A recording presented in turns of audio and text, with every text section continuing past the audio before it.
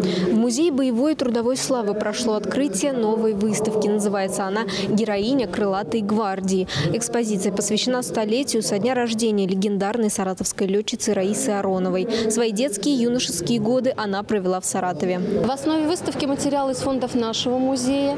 И в то же время мы сотрудничали со школьным музеем. Как мне покажется многим удивительно, но порой в школьных музеях хранятся удивительные подлинные предметы. Раисы Ермолаевны уже нет много лет. В 82 году она ушла из жизни.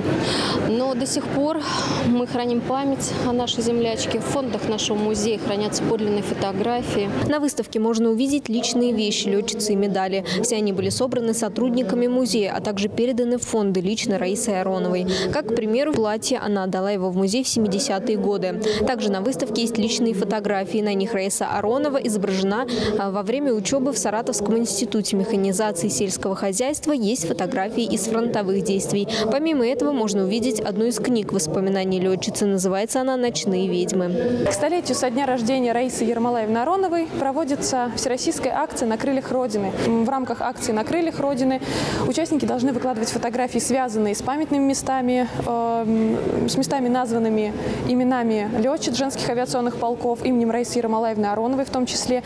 И в рамках акции проводится еще и фотоконкурс в социальных сетях, где э, участвуют фотографии, на которых изображены участники акции в образах летчиц женских авиационных полков. Всего отважная летчица за годы войны совершила 941 боевой вылет, сбросила 120 тонн бомб, уничтожила объекты с боеприпасами и переправы. В мае 1946 года Раисе Ароновой было присвоено звание Герой Советского Союза. Анна Забалуева, Роман Шильдяев, Саратов, 24.